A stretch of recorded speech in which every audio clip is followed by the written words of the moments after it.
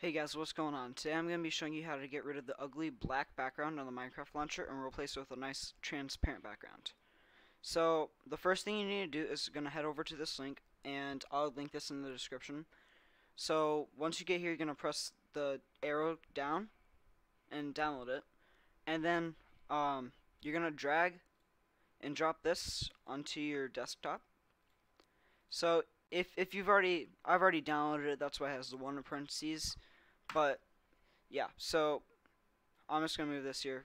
A anyway, so you're gonna press, you're gonna right click the Minecraft launcher and you're gonna press Properties, and then once it, you pull that up, it'll say Shortcut, and then you can go down and select Change Icon. And then a bunch of images will pop up, and then you're gonna want to press Browse, and then you're simply just gonna select the file we downloaded earlier, which is called mc underscore launcher underscore icon. Open that, press OK, OK, and then there you go. So you can delete this if um since you won't really need it anymore. And yeah, that's basically how to do it. Um, if you're wondering how to actually make the new Minecraft launcher shortcut, it's actually really easy. You can just go to the Xbox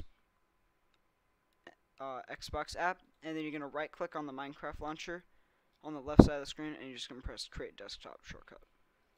Well, that's it. Um, Happy New Year, and also consider subscribing. It helps out the channel a lot. And anyway, see you guys later. Bye.